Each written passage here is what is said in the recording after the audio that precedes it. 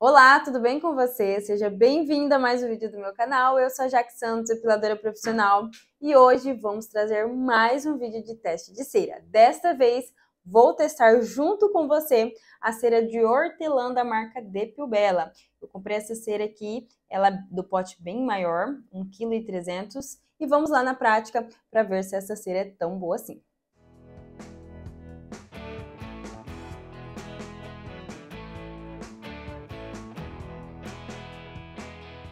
Bom, a cerinha que a gente vai testar hoje, antes de ir para a prática, é a cera hidrossolúvel. Muitas pessoas têm dúvida, né? O que quer dizer a cera hidrossolúvel?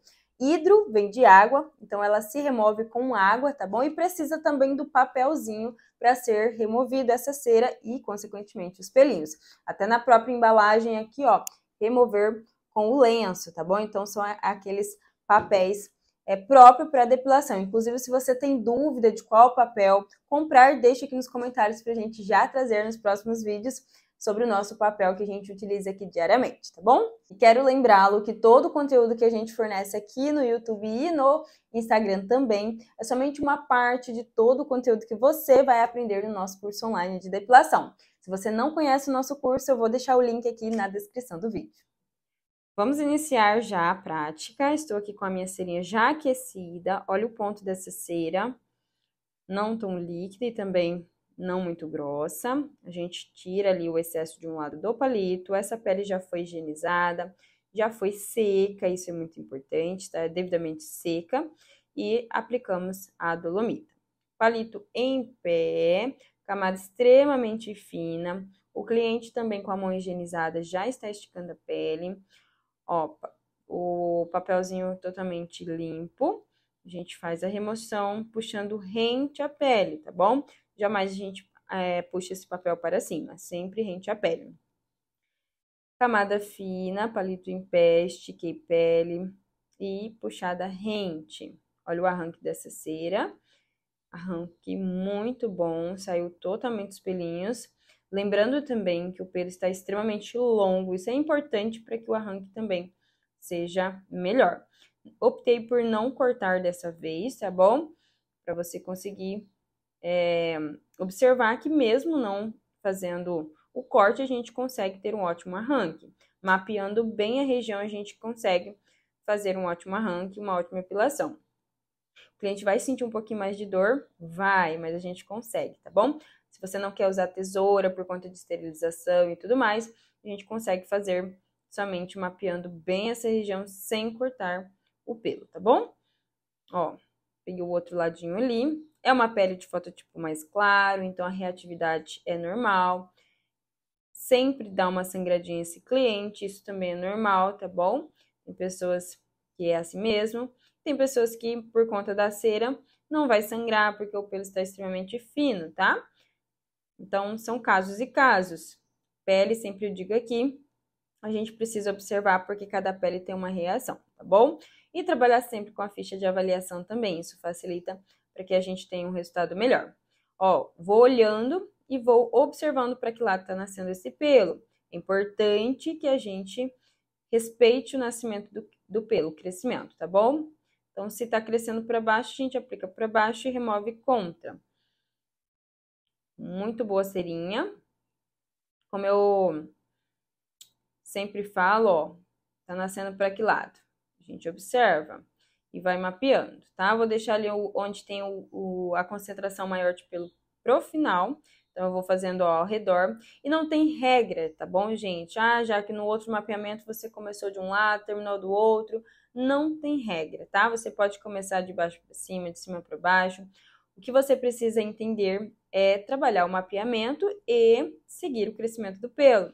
Você pode observar que algumas axilas a gente passa uma única passada para cima, depois mais uma única passada para baixo. Então depende muito de cada axila, tá bom?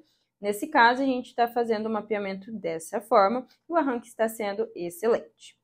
Ó, continuo observando, estico pele, passada rente, fina camada, isso é importante, tá bom? Para não lesionar essa pele também, faço uma leve fricção e puxo rente a pele, sempre a todo momento esticando essa pele para facilitar ali o arranque para que a gente não lesione essa pele. Ó, dou uma esticadinha, observo ali, tá crescendo para que lado. E da mesma forma, fricciono, puxada rente a pele. Ficou cerinha, eu volto aplicando o papel e removendo rente a pele. Então, ótimo arranque dessa cera. A gente consegue observar ali que tá ficando bem pouquinho pelo, então o acabamento com linha ou pinça vai ser bem pouquinho mesmo. E sempre haverá a necessidade da gente passar uma linha ou remover os pelinhos que fica com a pinça, tá bom? Tem gente que fala, Jaque, será que é possível, né, fazer 100% só na cera? É possível, mas o cliente ou a cliente, ela precisa estar ali há muito tempo fazendo já na cera, não voltar para a lâmina, tá bom? Em nenhum momento. Então, pessoas ali, clientes que têm 10, 20 anos já na cera, a gente consegue fazer 100% é, da epilação somente com a cera. Mas é importante também que esse pelo esteja no crescimento adequado, né? uns 30, 25 dias. Observe agora que a gente passa mais uma vez, ou seja, a segunda vez nessa região, porém no outro sentido, tá bom? Para que a gente retire ali os pelinhos que ficaram. Sempre, é, na maioria das vezes, ficará um ou outro, menorzinho.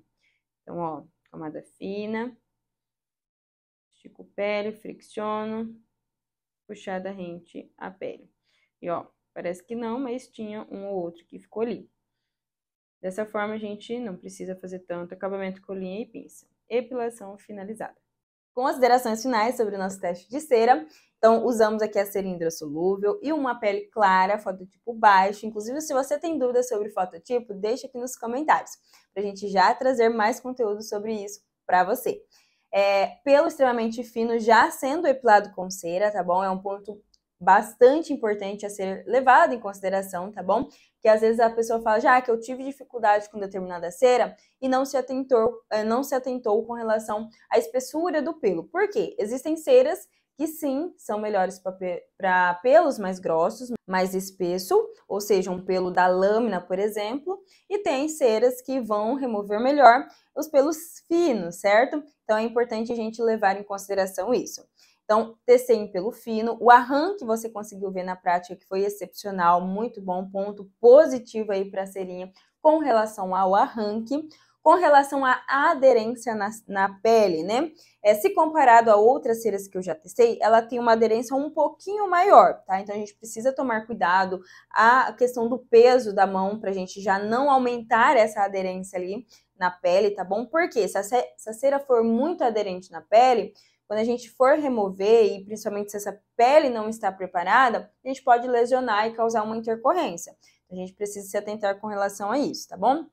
Ela tem uma aderência um pouquinho maior do que outras ceras, como eu já mencionei, mas nada que eu preciso abandonar essa cera, não, tá bom? É só para você ter mais cautela aí com relação à aplicação dela na pele e também se atentar com relação ao preparo dessa pele, tá? Essa pele precisa ser bem preparada para utilizar não somente com essa cera, mas com todas as outras ceras. Então, recomende aí muita hidratação para o seu cliente em casa.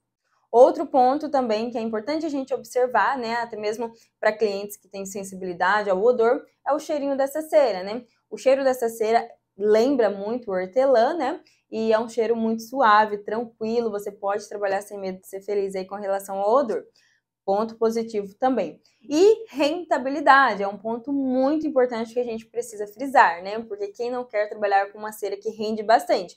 Financeiramente falando, isso é muito bom. Então, as cerinhas hidrossolúveis, não só essa de hortelã, da marca Depil Bela, não somente a marca Depil Bela, mas é, serinhas do método hidrossolúvel rende mais do que o método espanhol, por exemplo. Até porque é, a gente precisa aplicar uma fina camada e por isso a gente acaba é, tendo essa lucratividade, essa rentabilidade maior. Então, ponto positivo aí com relação à rentabilidade.